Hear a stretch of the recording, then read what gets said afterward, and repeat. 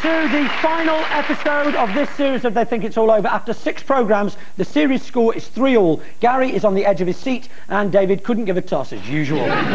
With David and Jonathan this week is a stand-up comedian who won Best New Act of the Year in 1989. And if you missed it, he's still doing it now. Jeff Green. With Gary and Rory is the former Scotland skipper, now captain of Coventry, who's recently been out for a year with an injury, during which time he's missed out on win bonuses totalling £8.40. Gary McAllister. We open the show by looking at the wretched excuses given by sportsmen to cover up sporting shame. Gary, Rory and Gary. This is the kind of play that saw David Ginola voted 1999's Footballer of the Year. This is Sherwood. Woodgate. And Ginola! What a strike by the Frenchman! Out to Ginola. Getting a bit more freedom now. Takes on Eaden. Takes on De Zeeuw. Oh, wonderful, wonderful goal by David Ginola. Now, despite those silky skills, Ginola has been left out in the cold by the French national side and missed out on a World Cup winners' medal. According to Ginola himself, why doesn't he get picked for France, Gary's team? Let me just say I've got two people called Gary on my side. Uh, I'm going to call McAllister Gary M and Lineker the jug-eared goal hanger. Good. to avoid confusion. I had a very pleasant evening with Ginola once, because you know from behind he's got lovely hair, by the way. and uh, from behind he looks rather like a young lady. Yeah. And that's why now I'll always go to the missionary position first. and not le position chien woof woof, as they usually known in less civilized parts of the world. It's all very well scoring those great goals, but he doesn't track back, does he? He doesn't track back, he doesn't help out not the like. I used to do. That's right. Got Alzheimer's, have you? I, I tell you what, the last two years of my career, when I played Mm. in Japan, I was I always came back for corners. Bring back the big man, they used to say. I just, I just think he might be just far too pretty to be. Did he That's not what he say said, wasn't it? something like, I'm oh, too too, pretty? I'm too Too handsome. good looking to be in the Absolutely same right for three points, yeah. Oh,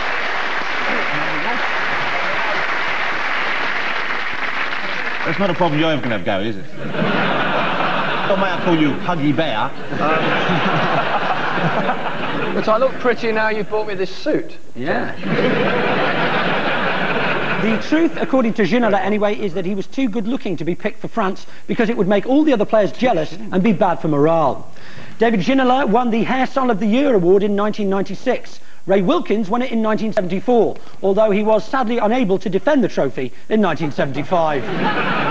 Ginola has denied allegations that he repeatedly dived during this year's Worthington Cup final, although it was him who got Princess Anne sent off during the pre-match handshakes. David, Jonathan and Jeff, we take you back to Euro 96, England against Scotland. England won up, but Scotland about to equalise with a Gary McAllister penalty. However, things went slightly wrong for Scotland from that moment on. It's Gary McAllister. Oh, saved by Seaman. Gary McAllister stunned by a wonderful reaction save.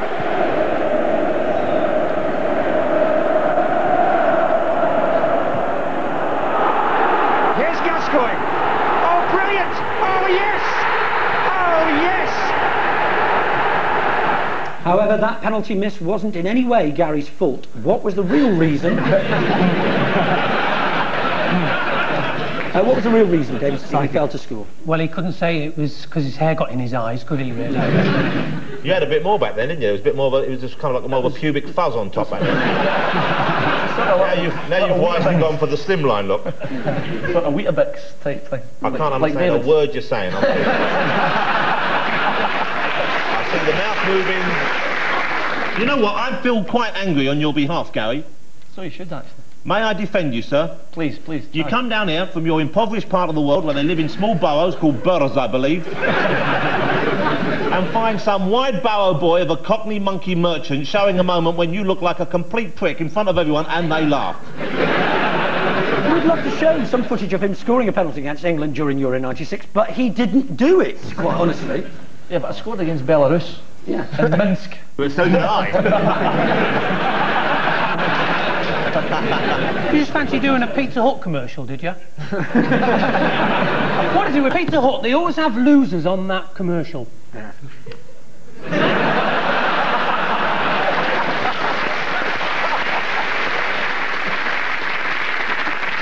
an excuse here, is there? And um, Sorry, I don't understand what you're saying. you see, once again, here we are, being mocked by a bloke with what appears to be, what is that, an unfurled golf ball for a hat. At least I didn't scrape my clothes off an Indian restaurant wall.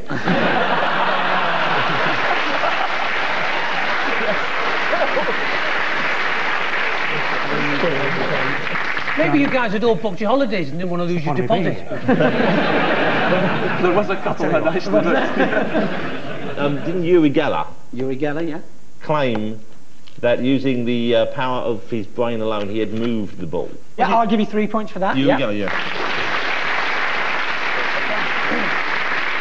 Yes, the excuse given, not by Gary here, I should add, for missing the penalty, was that the ball was moved telepathically by Uri Geller as Gary was about to kick it. As you can see, if you look carefully. There you go. Yeah. Did you see it? Yeah. Geller, who was hovering over the stadium in a helicopter, although if he's that clever, why did he need a helicopter, claimed afterwards that he willed the ball to move, saying, that was pure telepathy. I'm so pleased. Geller also said, when the penalty was taken, I willed David Seaman to jump to his right. Curiously enough, we were all looking up at a helicopter, willing Uri to jump to his left. Gary is captain of Coventry, a city best known as the home of Lady Godiva, who rode naked through the streets in the year 1060. It was part of the general celebrations after Coventry had yet again narrowly avoided relegation. and at the end of that round, Gary's team have three points and David's team have three points.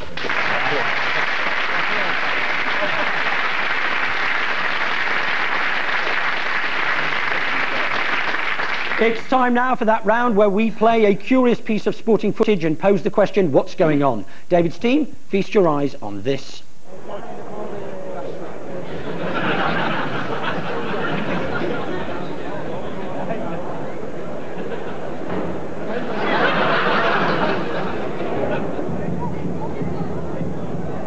Well, there come. So, David's team, what was that all about? I've no idea, but Dani Behr's licking her lips with anticipation.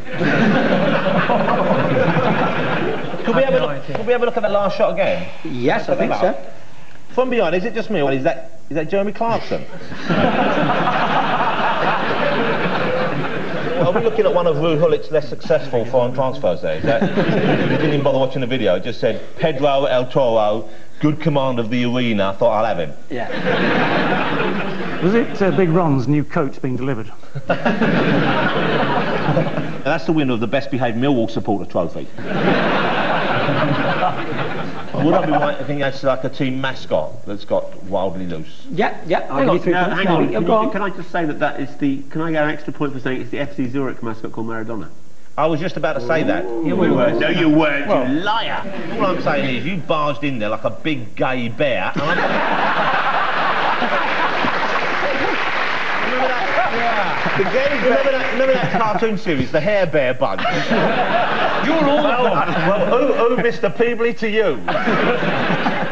I'm not going to let you have given that, Nick. I'm No, sorry. he doesn't get a bonus point. Good, No, no, you you, seem, you seem to have got it, yeah. The ball was, in fact, a mascot which escaped during a pre-match kickabout. His name's Maradona, and he is indeed the mascot of FC Zurich. points, please. Come The club decided to call the ball Maradona after noticing that he weighs a ton, he charges a lot, and he spends most of the time snorting. The opposition fans are already working on a chant for next season, who's in all the pies? Maradona is only with the club because he escaped from the local knackers yard, and the manager took pity. Much the same reason that Mark Hughes is at Southampton. Gary's team, this is the window of Binns department store in Middlesbrough. But what is going on?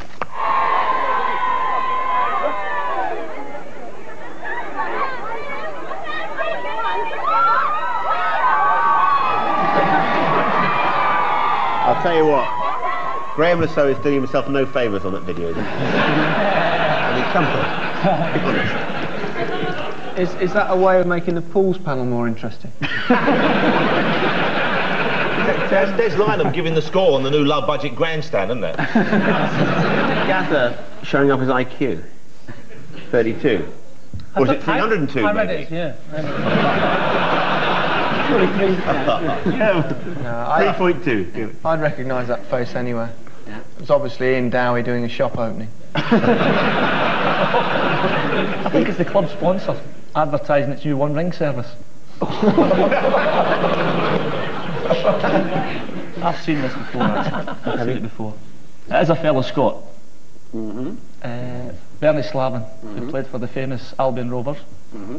before he went to Middlesbrough. Now, he claimed he would show his backside in the department store window if Middlesbrough beat Manchester United at Old Trafford. Absolutely correct for three points, yeah.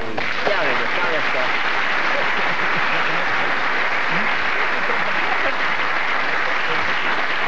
Yes, that rear view belonged to ex-Middlesbrough stalwart Bernie Slaven. Before Borough played Manchester United at Old Trafford, Slaven made this promise on Century Radio.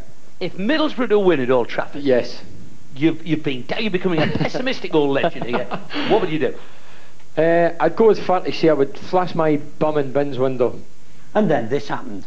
Gary Neville, Dean, Ricard, what a mistake. Won by Johnson. Dean Gordon, oh yes! Here's Brian Deane. It's three. Borough won the match 3-2, so Bernie made good his promise by displaying his bum in the window of Binns department store.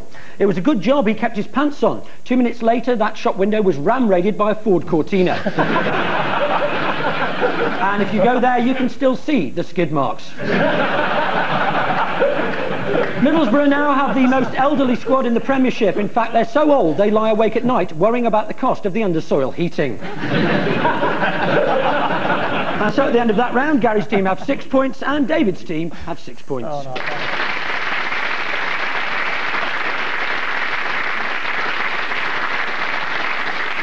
It's round three, and that means photo fit. We've blended three faces into one deformed mess. David's team, who did these features once belong to? Maybe, you know, you want to be careful because at the moment, because you were blonde when you were y- y- quite. Uh, Yep, yep, young. yep, yep. yeah, yeah. It's not easy to say, is it? Well, I was just trying to be polite about your age. Um, you, but when you used to be a blonde sort of bloke, didn't you? Well, yeah. And when now you're the silver fox. But you've got to be careful because when you get older, you, there's the example, your hair tends to turn the colour, which I believe on the Dulux chart is called monkey piss yellow. you want to keep an eye out. Just, I'm just thinking of you. No, I just the, the, yeah, the hair. Look like Judith Chalmers after a holiday too many, to be perfectly honest.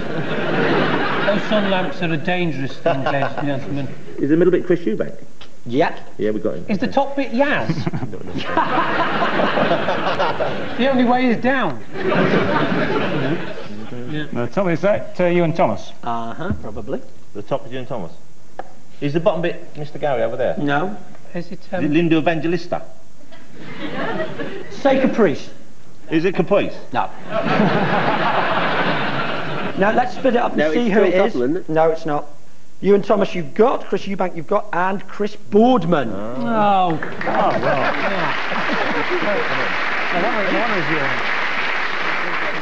Now, for an extra point, there is a connection between Iwan Thomas, Chris Eubank, and Chris Boardman. Uh, what is it?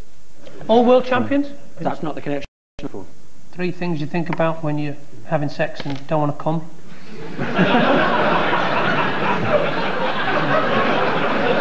Still, still be worth a point.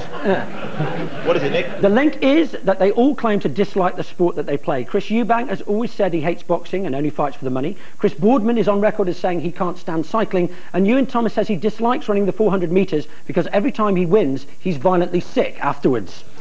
Iwan Thomas complained when Michael Owen beat him to last year's Sports Personality of the Year, but to be quite honest, the result was a fix because they didn't want him throwing up over the Duchess of Kent. Chris Eubank has now become a Muslim. He was going to be a Christian, but he gave it up when he got to the bit about St Francis of Assisi, saviour of all.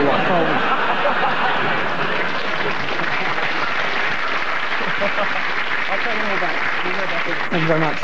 Gary's team, three for you to pick out. Wasn't he the lead singer with Dexys Midnight Runners? I don't even want to know what he's spitting out. Is it Seaman? I just want the names of the people. It's the world. it's the world rabies champion.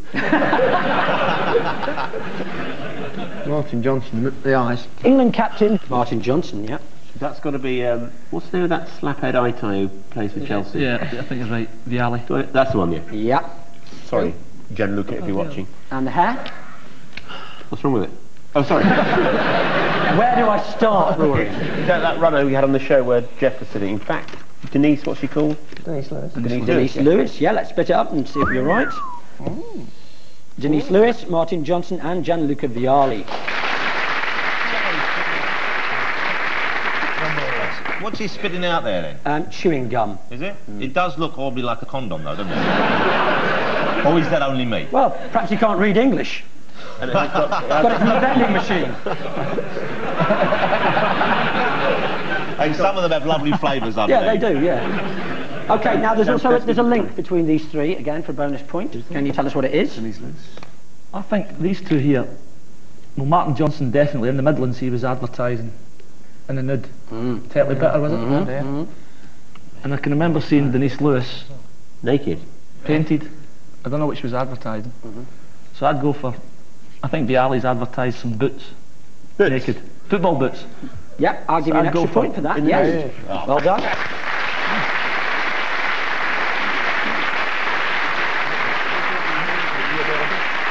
Yeah, the connection is that they've all posed naked. Here's Martin Johnson naked. Here's Gianluca Vialli naked last year. It would be a lot more explicit if they took it this year, no trophies. and sadly, we're not allowed to show you the picture of Denise Lewis with no clothes on, but if you're feeling disappointed, here's another famous ample-breasted sports star in the nude. Gianluca Vialli grew up on a big farm in northern Italy where his family employed the crop rotation system. Eventually, a field of beans got so pissed off at being left out that it asked for a transfer to another farm. When Gianluca Vialli first got the Chelsea job, the AC Milan manager, Fabio Capello, said it's like giving a 15-year-old the keys to a Ferrari. Well, that's better than giving a 15-year-old the keys to Graham Rix's hotel room.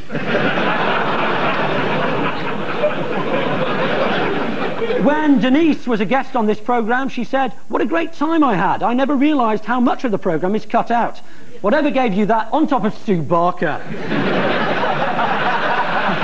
now, round nine. And at the end of that round, at the end of that round, David's team have eight points and Gary's team have ten.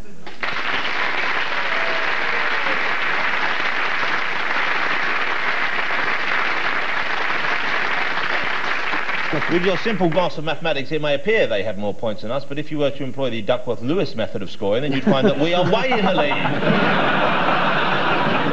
Now, time once again for our regulars to feel like the famous as we play Feel the Sportsman. David and Jonathan, you're up first if you'd like to take your positions, taking your blindfolds with you. You have 90 seconds to work out who you're touching. I pray it's a young lady. So do I, Jonathan. We've never had a woman, have we? I mean, well, we have. I don't Well, mean it that speak way. for yourself. I mean, in the, in the sandwich situation, David. Hmm. And can we have our first mystery guest, please?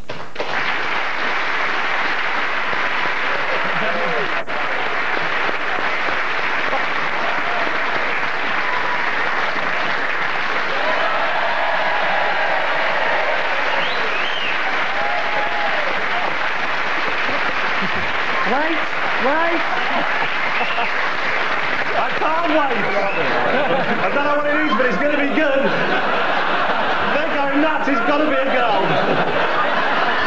I tell you, I've been looking for this all series. It almost certainly is, Jonathan. And you can start feeling now. Take me wing off.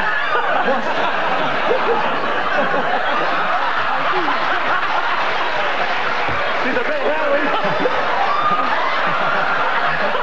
I think it's a fat bloke smoking a small cigar.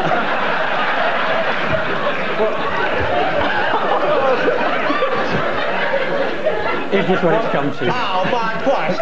Is this one for you? You know what? though? Don't stand there, tell me. No, no, no, tell me. I'll tell you what. Though. Use, I've taken the temperature and the patient's doing fine. Use your great gift of communication to tell me what like- you've spotted is it- so far. Is it like a runner, like a young lady runner? Slides in here, Yeah. you know. Jesus. Mrs. Howie. David, No. give us some names of some Greek female athletes. what is this? It's like an art. It's an art, isn't it? Christ, I think it's a bloke. It's a bloke's art. Jesus Christ. I remember it, uh, It's the smell of a man. it's the smell of a man's arse. I didn't agree to this. What did I do? Right, you're on, you're on your own. Um, get, get back here. Don't leave me with a hairy arse. No, you're on your own. I gave you the best months of my life. Is it that middle? Is it the man in Binns? Just go. Name, Is it- his name. Hold it. Is it Bernie the bloke we saw in the Slaven. film? We Yeah, need Bernie. Bernie Slaven. I haven't enjoyed that more than I did.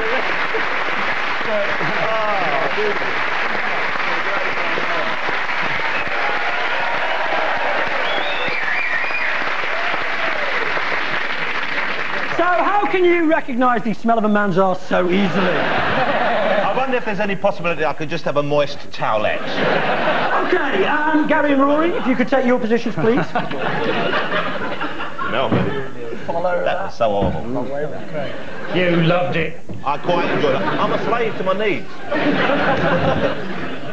Nice, eh? It does look great. I'm glad you come out finally. There's nothing to be ashamed of. Never been ashamed of it. You, me, and Julian, let's go out and get a tattoo later.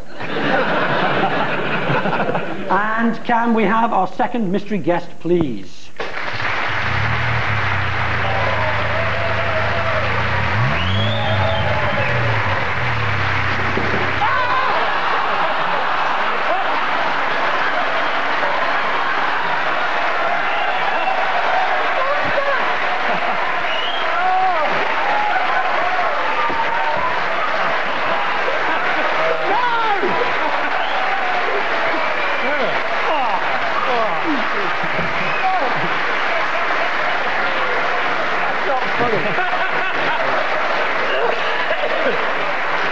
I'm, uh, I'm sorry, Gary, but Jonathan enjoyed the last bit so much that he couldn't help himself. Okay, your 90 seconds start now. I don't know who's but they're nervous, aren't they? This is my I've got a bloat here on. That's me. Sorry, Gary. So horrible. Not lost, just a moment. Camden Town this time of night, no f***ing way, mate. It's a car.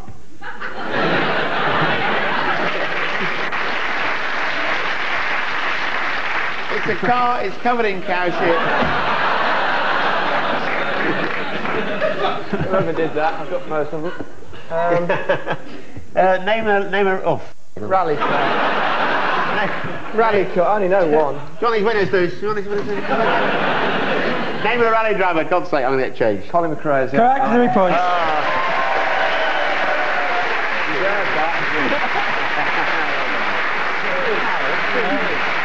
How's your, um... yeah.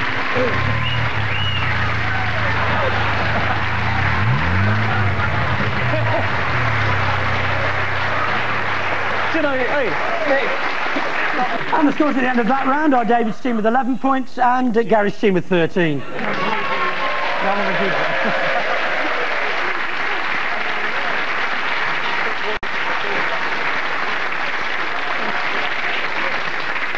Am I meant to do the next round, for God's sake? It's like Gary's done a dirty protest in it or something. I've got a wedding tomorrow. you know, Nick, when I was younger, this was evidence of a bloody good night out. I mean, if the room wasn't like this, we hadn't had a good night. As simple as that. We end as normal with the name game. The team in the lead goes first, which at the moment is Gary's team. So uh, Rory will be doing the clues. Um, we'll pass that along to Rory. As many names as you can in the next 90 seconds. And your time starts now. This man is ginger, he wears a ginger hat. And when he saw the Strachan, Gordon Gordon Strachan. Strachan. Gordon Strachan, very good. Uh, bald, slaphead, uh, geography teacher from Harrow County. David School, Elleray. Yes, this is um, uh, a Brazilian footballer named after the famous German Count Otto von Bismarck. Good, thank God we've got an intellectual on the show at last.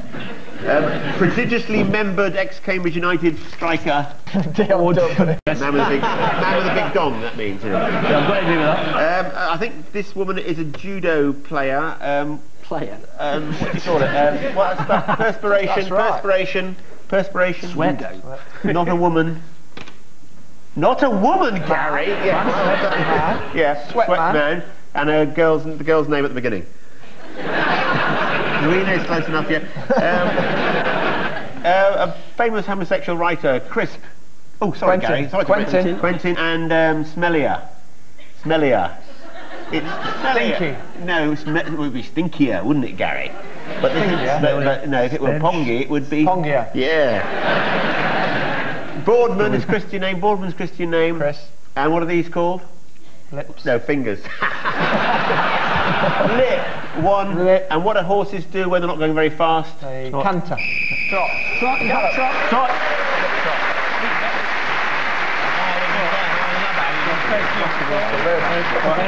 Okay, they've moved on to 20, so you need... Uh, 20? yes, yes, yes, yes. 10 will win it for you. Starts. Now. Uh, tennis player, French, not the Leslie, the other one, the one who's built like uh, Le Maison Merde de Concrete. Um, Brick Shithouse. Mary That's Pitt. it, yeah, the one who's Mary- Mary, Mary Mary Pitts, you got it, okay. Uh, this bloke, second name, uh, he sounds like um, he should be with Johnny something on the Pirates. Remember him? Johnny, no. No. No, not big on Oh, music. Okay, it's a young goat, a baby goat. Kid. Baby- Kid. There you go, that's right. Okay, uh, this one's got... Brian Kidd. Uh, all right, second name of this person is ridiculous, very daft. Um, Silly. similar. Uh, first name is, uh, there's a song, Drink, Drink, Drink to the Pink. Lily. Lily. Yeah, and the second name is like someone not a million miles from here who's a bit basically losing it, to be honest. Ross. Is it yourself, Jonathan? he might be sitting between you and I right Oh, now. Lily Gower? Yeah, there you go. Okay. Um, this bloke, I felt his arse earlier. Um, um, um, Bernie Slaven. There you go. Um, ah, here we go. could be anyone, Jonathan. Um, this one, uh, it's very similar to the last answer, but not quite the same. Uh, it's another word for buttock. Cheeks. Arse. Yes, and the first name is uh, it's sort of a Arsene Italian-y sort of deal going on there. I don't know. It's some bloke. I left my heart in San. Francis. Uh, that- Fran- well, there you go. Francisco. Man, how easy do you want Francisco this? Arston. All right, this is. Oh, Jesus. Uh, I almost felt this earlier, but fortunately there were some pants in the way. Second name. Cock. This is what I've got to work with. no, it's what his telephone does. How come he's getting the Clint Eastwood voice? What was that all about? Why did you have to be Clint Eastwood for that? What's wrong with you? All right, win. Yes, and the first name it's uh, it's a little. You'd make a, if you did something with a pen, you'd leave a on the desk. Uh, Mark. There you go. Okay, this is uh, it's a cricket player. Second name describes what used to happen to everyone when you played. Lose.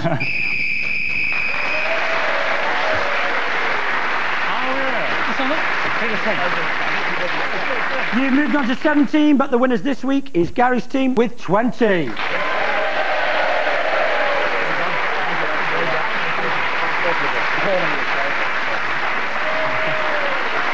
our thanks to David, Jonathan and Jeff, Gary, Rory and Gary. We're all off to celebrate last night's Champions League victory by the English runners-up over the German runners-up. My name's Nick Hancock. They think it's all over. It is now.